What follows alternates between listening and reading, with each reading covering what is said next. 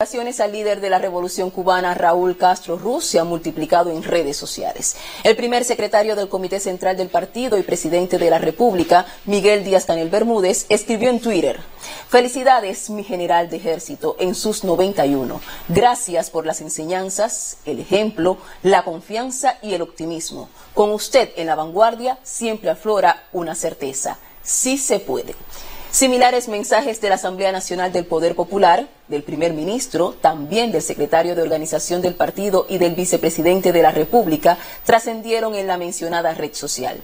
Destacan la experiencia, capacidad y aportes a la revolución del general de ejército y son portadores del agradecimiento por sus enseñanzas.